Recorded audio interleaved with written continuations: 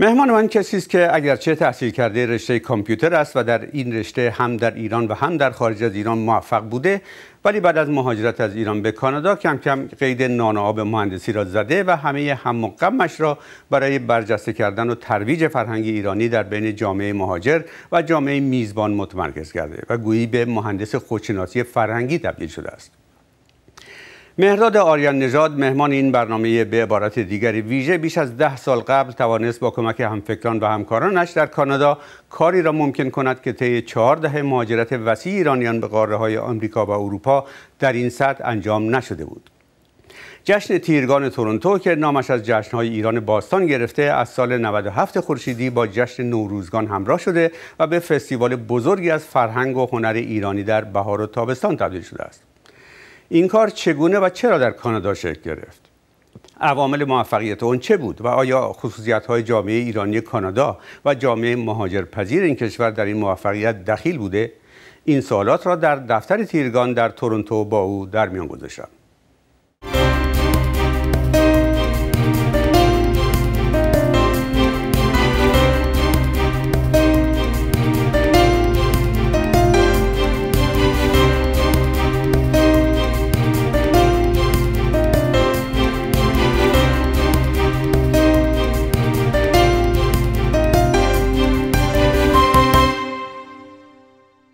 آقای مهداد آریان نژاد به برنامه به بار دیگری ویژه خوش آمدید خیلی متشکرم از شما و دعوتتون شما در سرمایه که ما این روزا شاهدش هستیم در تورنتو چطور جشن نوروزی برگزار می‌کنید؟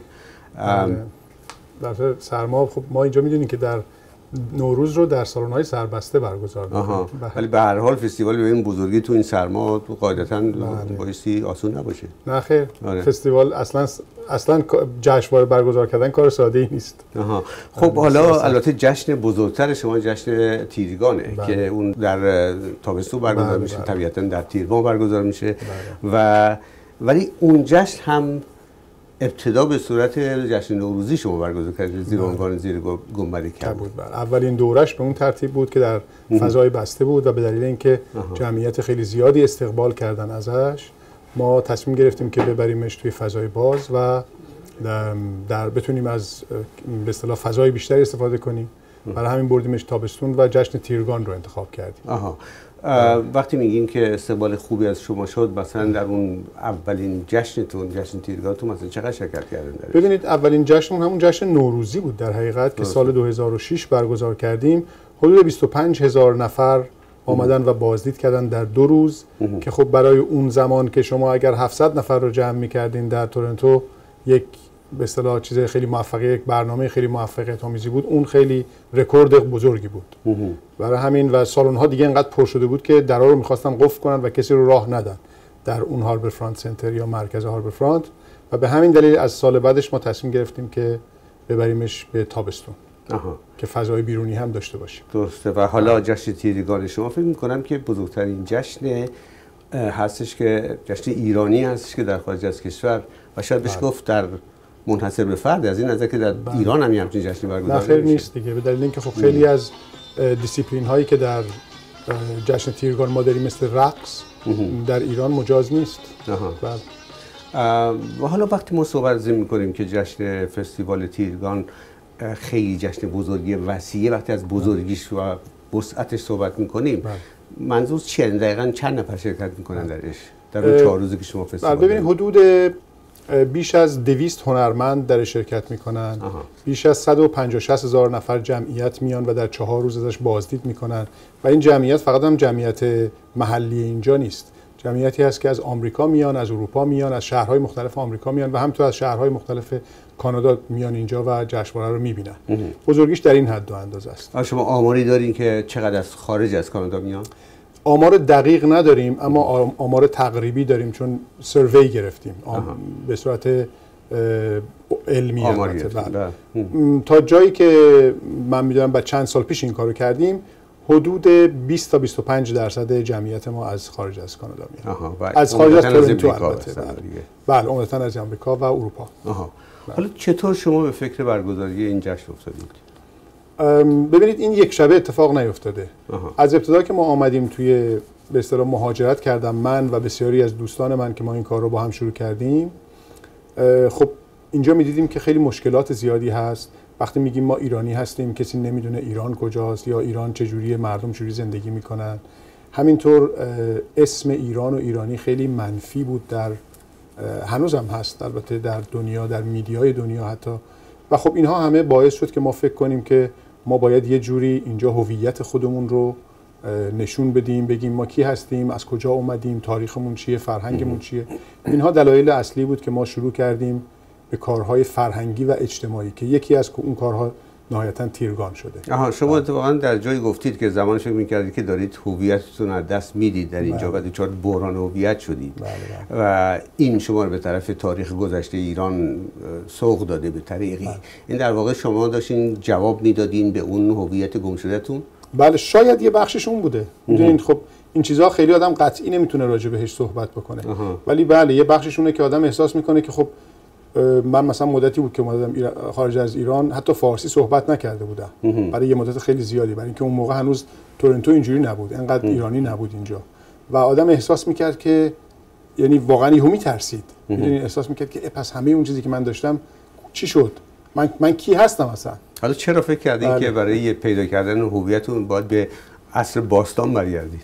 من اصلا فکر نکردم که ما باید به باستان برگردیم. من فکر می‌کنم که ما باید حتی تاریخ معاصر خودمون رو بدونیم. می‌دونیم ما باید با تاریخ خودمون با آشتی برسیم. چه تاریخ قبل از اسلام چه بعد از اسلام. متاسفانه در قبل از انقلاب خیلی تاکید روی تاریخ باستان بود. بعد از انقلاب تاریخ باستان اصلا فراموش شده فقط تاریخ پس از اسلام مطرح هست. ولی ما زمانی می‌تونیم یه ملت خوشبختی باشیم که با تاریخ خودمون آشتی کنیم. بگیم آقا این تاریخ ماست این چیزی که واقعیتی که اتفاق افتاده هیچ جایش هم دستکاری نکنیم. اون واقعیتی که هست رو قبول بکنیم. چه بعد از اسلام چه قبل از اسلام با همه اینها قبول بکنیم. حالا در این جشن های شما عده زیادی از جوان هم شرکت می‌کنن. بله. حالا جوانایی هستن که احتمالا هنوز بچه بودن که اومدن. به اینجا. بله. و کسانی هستن که اصلا اینجا متولد شدن یعنی اونها هم به نوعی ممکنه دچار بحران هویت باشن بله. چون فکر می‌کنین که استقبالی که از طرف جوونا این این جوون‌ها این جوون‌های خاص به خصوص میشه از فستیوال شما. به نوعی دنبال هویتشون میگردن و فکر می‌کنن اینجا یه جایی که می‌تونن یه چیزایی پیدا کنن؟ بله من فکر می‌کنم دقیقا همینطوره. ببینین خیلی از پدر مادرای ایرانی که از ایران مهاجرت کردن به آمریکا یا اروپا یا جاهای دیگه بچه هاشون رو ور میارن. به دلیل اینکه میگن این بچه ها میان پدر مادرشون ایرانی هن. توی خانواده ایرانی که فارسی صحبت می‌کنن تو خونه و بعد میرن بیرون به یه زبان دیگری صحبت می‌کنن. ولی اینا هیچ وقت در یه محیطی قرار نگرفتن که ایران رو حس بکنن. ولی وقتی که میان یه جایی که جمعیت بسیار زیاد ایرانی هست و فرهنگ و هنر ایران و تاریخ ایران ادبیات ایران راجبش صحبت میشه و در اون فضا قرار می‌گیرن اینا بالاخره یک حسی پیدا می‌کنن از اینکه ایرانی بودن یعنی چی.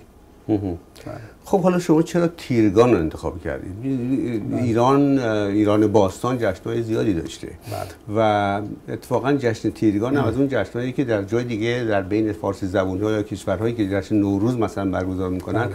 برگزار نمیشه. حالا چرا شما تیرگان به دلیل دلایل متفاوت.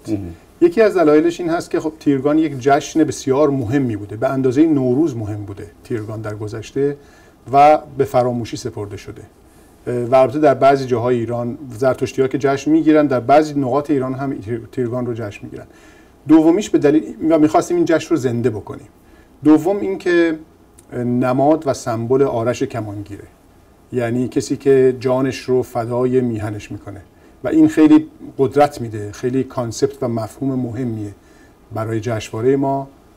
و من فکر می‌کنم تمام داوطلبینی که میان و شبانه روز وقت می‌ذارن این کارا رو انجام میدن الهام می‌گیرن از آرش کمانگیر و فکر می‌کنن که حالا ما در دنیای مدرن داریم زندگی می‌کنیم. لزومی نیست که جانمون رو فدا بکنیم ولی sacrifice می‌کنن. می‌دونین؟ جان فشانی می‌کنن فداکاری می‌کنن برای اینکه یک همچین جشن بزرگی برگزار بشه. ولی خب چقدر ما واقعا این منابعی که شما استفاده کردین برای بله. توضیح و توصیف مسئله جشن تیرگان بله. دقیقه. می‌دونیم ما ما بله. اطلاعات در مورد نوروز خیلی بیشتر از مثلا تیرگان داریم. و فکر نمی یه چیزا به حال ممکنه که روایت های خیلی متفاوتی هست. ببینید روایت های یعنی متفاوتی هست. کاملا درسته. در واقع؟ آره. ببینید منابع ما منابع متفاوتیه. شما از آقای پور داوود بگیرید تا ایرانیکا و مقاله هایی که درباره این جشن تیرگان هست و همینطور من در تیرگان گذشته آقای بهرام بیزایی اینجا تشریف داشتن و یک صحبت بسیار جالبی کردن که من تا به حال در جای نخونده بودم و ایشون تمام این روایت ها رو ریشش رو نهایتا یکی دونستن و توضیح دادن که چرا این روایت ها ریشهشون یکی هست. که خب در جای مناسبی حتما این به نظر من باید چاپ بشه و مطرح بشه. ولی این روایت ها ممکنه که روایت های خیلی دقیقی نباشن اما بالاخره نشانه یک چیزی هستن. یعنی برای ما یک سری حقیق حقایقی رو برای ما بازگو می‌کنن. حالا با بر اساس اون چیزی که راجع به جشن گذشته باستانی ایران در تیرگان می‌دونیم. بله. جشنی که شما برگزار می‌کنین آیا به المن های شباهت هایی به اون جشن باستانی داره جاییش؟ ببینید ما سعی کردیم که این رو یک بهانه بکنیم. آها. برای نمی‌خوایم ما کار گذشته رو دقیقا اجرا بکنیم و تکرار بکنیم. البته خوبه یه گوشه هایی از اون هم داشته باشیم مثل فال کوزه یا کارهای دیگری که در جشن تیرگان می‌کنن. اما ما تیرگان رو بهانه ای کردیم برای بزرگداشت فرهنگ و هنر وقت هیچ المانی از گذشته دارید توش؟ در, ج... در تیرگان؟ بله. المان گذشتهش یکیش اینه که خب در تیر ماه برگزارش می‌کنیم خب. و همیشه هم بارون میاد و می‌دونی که جشن تیرگان یعنی جشن بارون عوامل طبیعی بیشتر بله. بیشتر نه البته خب ما یک داستان مسابقه داستان نویسی داریم که بنا به گفته فارابی جشن تیرگان روز به اصطلاح بزرگداشت نویسنده هم هست. بنابراین ما یک مسابقه داستان نویسی داریم که تا حدودی می‌تونه به اصطلاح اون یکی از چیزهایی باشه که برای این جشن هست و همین گرد همایی و جشن. می‌دونید خود جشن اهمیت داره دیگه. حالا شما آقای آریان نژاد در جای گفتید که یکی از مشکلات اولیه سر راهتون مسئله نبود اعتماد اجتماعی بوده. بله. دقیقا منظورتون چی از اینکه اعتماد اجتماعی وجود نداشته؟ بله، ببین من فکر می‌کنم که بعد از انقلاب 1979 در ایران یک ضربه بزرگی به اعتماد اجتماعی خورد و مردم یواش یواش از همدیگه اعتمادشون رو از دست دادن. ما وقتی که اومدیم اینجا مردم اگر ایرانی ها همدیگه رو می‌دیدن سعی می‌کردن از همدیگه فرار بکنن یا ساکت می‌شدن صحبت نمی‌کردن. و هر کسی هر کاری رو شروع می‌کرد هر کسی هر حرکت اجتماعی رو شروع می‌کرد هزار و یک جور انگ و برچسب و این چیزا بهش می‌زدن. این نشان دهنده که اعتماد اجتماعی نیست. و زمانی که در یک جامعه میزان اعتماد اجتماعی سطح اعتماد اجتماعی میاد پایین هیچ کاری رو شما نمی‌تونید انجام بدین. سنگ روی سنگ نمیشه گذاشت. و این بزرگترین مشکل ما بود دیگه. خب چطور اون وقت شما فائق اومدین بر این مشکل؟ بله بسیار کار سختی بود. هنوز هم هست. و این فقط با ساختن یک مثل دور هم جمع کردن افراد کار گروهی و به مرور آشنا شدن آدم ها با همدیگه و اعتماد کردن یعنی از خیلی کوچیک شروع کردیم و به مرور اینو گسترش دادیم. و سعی کردیم در ارتباطاتمون در کارهایی که انجام میدیم صداقت داشته باشیم. و چون من از بچگی همیشه این سه شعار پندار نیک گفتار نیک کردار نیک رو پدر من همیشه عاشق این شعار بود و همیشه اینو توی ذهن ما می‌گفت و در ذهن من ملکه ذهن من شده بود. سعی کردیم که اینها رو واقعا در عمل پیاده بکنیم. سعی کردیم رو راست باشیم شفاف باشیم با حتی در کار گروهیمون با همه چیز رو با گروهمون مطرح بکنیم. می‌دونیم برای منافع شخصی کاری رو نکردیم. سعی کردیم برای منافع اجتماعی باشه برای منافع گروه باشه. این چیزا بالاخره اون اعتماد اجتماعی رو از اون هسته‌ای که ما داشتیم به مرور به وجود آورد و گسترش داد. و الان شما مشکلی به نام عدم اعتماد اجتماعی دیگه نداریم نه خیر هنوز داریم, داریم. هنوز هست. بله هنوز هم خیلی ها هستن چه شکل بروز می‌کنه؟ شما می‌دونم اختلاف بله. نظرهای سیاسی خیلی زیاد هست. بله بله. تمام به جامعه های ایرانی در خارج از کشور. ولی شما در رابطه با جشن تیرگان این چطوری بروز می‌کنه این عدم اعتماد ببینید این عدم اعتماد اجتماعی اینجا هست که خب مثلا میگیم که بیاین کمک بکنین یا بیاین کمک مالی بکنین. بیشتر در بخش اقتصادی خودش رو نشون میده. بیاین کمک اقتصادی بکنین دونیت بکنین. و خب خیلی ها میگن که ما نمی‌دونیم که این پولی که به شما میدیم چی میشه یا کجا میره یا کی از این استفاده می‌کنه یا اصلا شما کی هستین؟ از شاید از یه جای شما معمور هستین که دارین این جشن رو برگزار می‌کنین. می‌دونین به این ترتیب ولی شما کماکان بخش زیادی از امکانات مادیتون متکی به کمک های مردم هستید درسته یا نه؟ ببینید یه بخشش از بلیت فروشی میاد. آه. یه بخشش از کمک های دولتی کانادا میاد. یه بخشش از sponsorship یا حمایت های مالی business ها میاد. در حقیقت ما بیشترین تکیهمون اولین درآمدمون از بلیت فروشی هست. که یه بخش بزرگی از جشنواره رو اون تأمین می‌کنه چون یه ده درصد از برنامه های ما از طریق فروش بلیت تامین میشه و 90 درصدش رایگان هست در جشن تیرگان.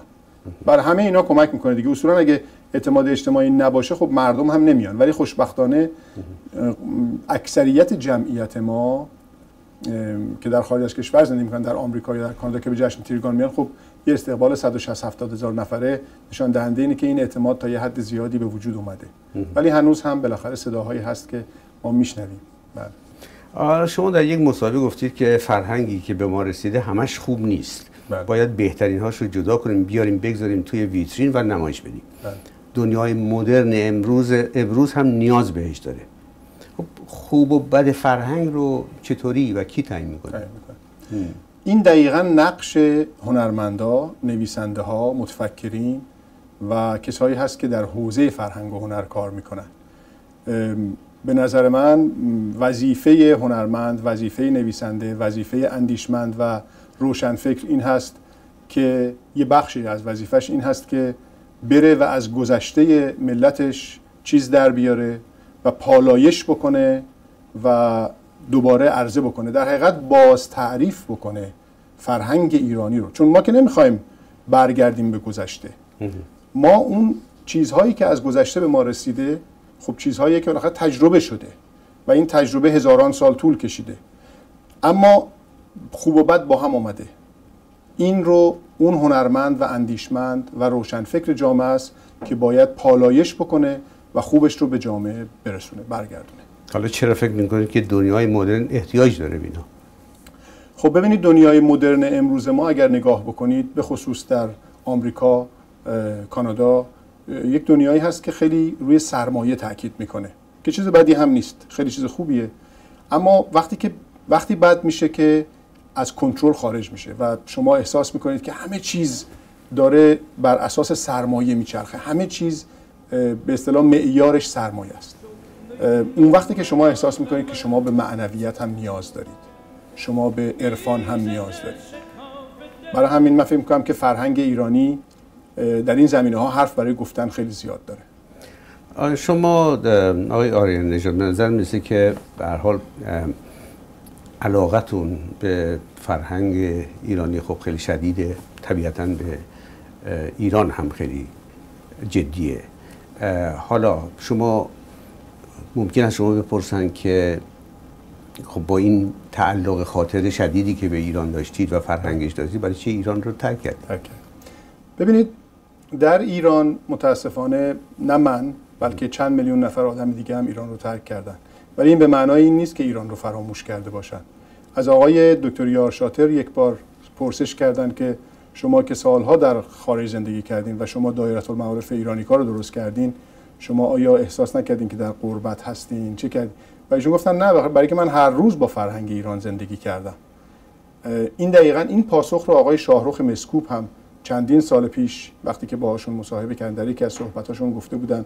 برای منم به همین ترتیبه. من البته خودم رو با این دو بزرگوار مقایسه نمی کنم اما علاقه ای که دارم به فرهنگ و هنر ایران شما لزوما در جغرافی های خاصی نباید باشید که بتونید با فرهنگ و هنر ایران ارتباط داشته باشید.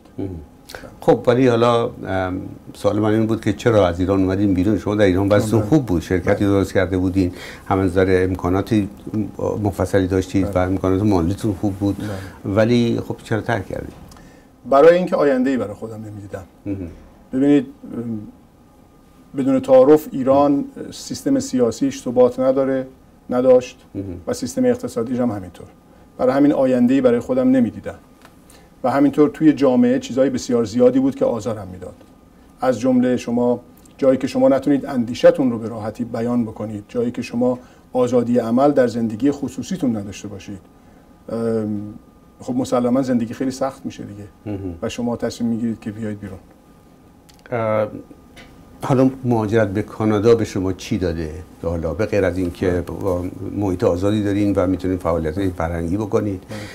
ولی در اینجا هم شما ابتدا تو رشته خودتون شروع کردین به کار بله، بله. حالا اینجا چرا شما به حال کنده شدید از اون رشته تخصصی که کامپیوتر بود و رفتین بله، به دنبال مسائل فرهنگی؟ بله خب این بالاخره من همیشه در کار فرهنگ و هنر بودم. حتی وقتی که تو ایران زندگی می‌کردم خب با موسیقیدان ها و کار موسیقی می‌کردم. و وقتی هم که اینجا اومدم خب امکان بیشتری پیدا کردم. در کنار کارهای تخصصیم تونستم در, در کارهای فرهنگی به اصطلاح کار بکنم.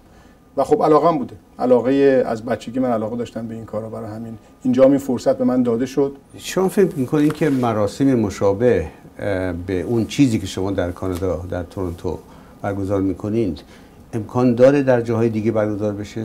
ببینید ما چند تا خصوصیت داره کانادا و به خصوص تورنتو. یکیش این هست که ایرانی هایی که اینجا زندگی می‌کنن رابطهشون خیلی زنده است با ایران. خیلی تازه مهاجرت کردن خیلی مهاجرین تازه خیلی زیاد داریم. یکی دیگرش اینه که در فضایی که در فضای جغرافیایی نزدیک به هم زندگی می‌کنیم. برای همین جمع شدن آدم ها با سلایق و علایق مشترک دور همدیگه خیلی راحت تره ولی شما مثلا در کالیفرنیا خب خیلی از هم دور مردم زندگی می‌کنن. یکی دیگه هم اینه که دولت کانادا و اصولا اون سیستم حکومتی کانادا به چند فرهنگی و مالتیکالچرالیسم خیلی اهمیت میده و حتی سرمایه گذاری می‌کنه درش که هر فرهنگی هر قومی هر ملیتی بتونه به فرهنگ خودش بپردازه و یک جوری این فرهنگ رو پروموت بکنه ترویج بکنه. اینها همه دست به دست همدیگه داده. فکر می‌کنم که باعث شده که تیرگان بتونه اینقدر رشد بکنه. Minister of Immigration Honorable Ahmed Hussein وزیر مهاجرت کانادا. Good evening. That's much better. سلام درود. شما فکر کنید این تاثیرش فقط مثلا در کاناداست یا اینکه احیانا یک نوع انعکاسی در داخل ایران هم ممکنه داشته باشه؟ این نوع پدیده ها و این نوع حرکت صد درصد در داخل ایران انعکاس داره. ما دارین احیانا. بله ما از ایران همه با ما تماس می‌گیرن روی فیسبوکمون بهمون به پیام میدن روی اینستاگرام بهمون به پیام میدن. از ایران خیلی ها دنبال می‌کنن جشنواره ما رو و ما پارسال حتی در داستانهای کوتاهمون همه برنده ها از ایران بودن. یعنی شما مسابقه داستان نویسی دارید که بله. برگزار می‌کنید بله بله. از داخل ایران شرکت بله از در مسابقه عکاسی هم همینطور. آها. ما مسابقه عکاسی هم داریم و اون هم برنده ها از ایران بودن. چقدر تاثیرش روی جامعه ایرانی کانادا بوده تا به حال؟ یعنی این وحدت رو بله. تقویت کرده در اینجا یعنی به وضوح می‌بینید اینو؟ بله. البته اندازه‌گیری این چیزا که خودتون می‌دونین خیلی کار سختیه. برای اینکه این چیزها خیلی تنجیبل و ملموس نیستن. باید روش کار جدی بشه. اما من خودم به شخص تجربه کردم اینو. به صورت شهودی دیدم که خب جامعه ما کجا بوده امروز کجاست. و یکی به نظر من یکی از این دلایل مختلفی داره. چون کارهای بسیار زیادی فعالان اجتماعی اینجا انجام دادن. یکیش هم تیرگان هست که دوستان با ما با دوستان انجام میدیم. و به نظر من تیرگان تاثیر بسیار زیادی نه فقط در تورنتو و کانادا داشته بلکه در فکر می‌کنم در جامعه ایرانی مهاجر. به دلیل اینکه ما بعد از اجرای تیرگان ما دیدیم که در کشورهای دیگه مثل استرالیا تیرگان رو جشن گرفتن در سوئد تیرگان رو جشن گرفتن در همین کانادا در شهرهای دیگه سعی کردن تیرگان رو جشن بگیرن. یک فستیوال یک جشنواره ایرانی در کلگری برگزار میشه به نام تابستون فستیوال که باز هم اونها خودشون میگن که ما inspire شدیم با این موضوع. و یا در آمریکا به همین ترتیب. بله. بله الهام گرفتن به نوعی بله. برای این تاثیرگذار بوده. در خود جامعه کانادا در بین ایرانی ها یا تغییر محسوس فرهنگی و حتی سیاسی دیدید؟ یعنی از نقطه نظر مشارکت بیشترشون تو این جور مسائل. بله. و از جمله مسائل سیاسی. بله ببینید من فکر می‌کنم که ما در زمینه های مختلفی خیلی موفق بودیم. یکی در زمینه داوطلب شدن. چون می‌دونین در فرهنگ ما داوطلبی فقط زمانی معنی داره که شما برای جشنهای یا مراسم مذهبی کار داوطلبانه می‌کنید. در در کارهای دیگه داوطلب داوطلب شدن جدیدا خیلی راه افتاده در ایران در نات فور پروفیت ها. ولی اینجا این موضوع بش... کاملا مشهوده به خاطر اینکه اولش که ما شروع کردیم این فرهنگ یواش یواش جا افتاده و الان شما نگاه می‌کنید سازمان های مختلف داوطلب های بسیار زیادی داره. و همینطور خود جمع شدن این 150 هزار نفر به نظر من یک پدیده است که ما نداشتیم هیچ وقت. ما من فکر می‌کنم در تاریخ معاصر ایران ما نداشتیم که 300 400 نفر داوطلب با همدیگه جمع بشن و یک همچین کار گروهی رو بدون حمایت کسی انجام بدن. خودشون یعنی ما همه چی رو از صفر شروع کردیم. اینا به نظر من تاثیراتی که خب مستقیم میشه دید. ما تصمیم داریم یه روزی بتونیم تمام جشن های ایرانی برگزار کنیم. مثل مهرگان مثل جشن های دیگه. اما در حال حاضر تصمیم داریم که جشن تیرگان رو خیلی بزرگ بکنیم و روزی شاید بتونیم با به اصطلاح پذیرای یک میلیون نفر در تورنتو باشیم که بیان و از این جشن که شاید در یکی دو هفته در تورنتو برگزار میشه در محل مختلف از این جشن بازدید بکنن. این یکی از پلن هایی که داریم امید نمی‌دونم که موفق بشیم نه ولی تلاشمون رو می‌کنیم. خیلی متشکرم آقای مهداد آریان نژاد از شرکتتون در برنامه خیلی ممنونم از شما. متشکرم.